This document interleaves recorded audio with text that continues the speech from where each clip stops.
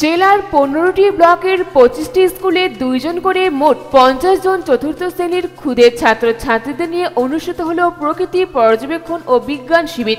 মালদা সমগ্র শিক্ষা মিশন ও মালদা ইউনিসেফের উদ্যোগে জেলা বিজ্ঞান মঞ্চের পরিচালনায় জেলা প্রশিক্ষণ কেন্দ্রে এই শিবিরের আয়োজন করা হয়। দশই জানুয়ারি থেকে বারোই জানুয়ারি পর্যন্ত তিন দিন ধরে চলবে এই শিবির।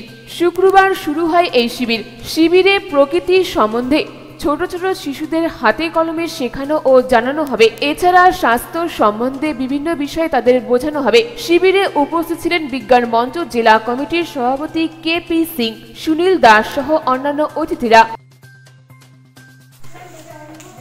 আমাদের তিন দিন ধরে, দশ, এগারো, বারো, তিন দিন ধরে আমাদের এখানে আবাসিক চতুর্থ শ্রেণির ছাত্রছাত্রীদেরকে নিয়ে প্রকৃতি পর্যবেক্ষণ ও বিজ্ঞান শিবির আয়োজন করা হয়েছে এটা মালদা জেলার সমগ্র শিক্ষা অভিযান দপ্তর এবং পশ্চিমবঙ্গ বিজ্ঞান মঞ্চ যৌথ উদ্যোগে এই আবাসিক প্রকৃতি পর্যবেক্ষণ ও বিজ্ঞান শিবিরের আয়োজন করা হয়েছে এখানে ছেলেমেয়েরা নিজের হাতে আনন্দের মধ্য দিয়ে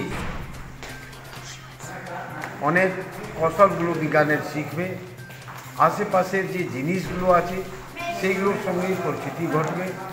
নিজেদের মধ্যেই বন্ধুত্ব গড়ে উঠবে এবং নিজেদের মধ্যেই ওরা আলোচনা আলাপ করবে।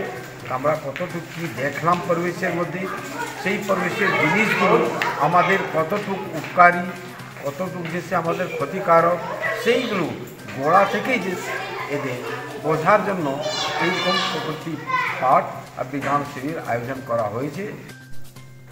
বলছি যে মালদা জেলা সর্বশিক্ষা মিশন এবং ইউনিসেফ এর উদ্যোগে এবং পশ্চিমবঙ্গ বিজ্ঞান মঞ্চ মালদার পরিচালনায় মালদা জেলার সবকটি ব্লকের চতুর্থ শ্রেণির ছাত্রছাত্রীদের নিয়ে একটা বিজ্ঞান এবং প্রকৃতি পর্যবেক্ষণ শিবির এর ব্যবস্থা করা হয়েছে।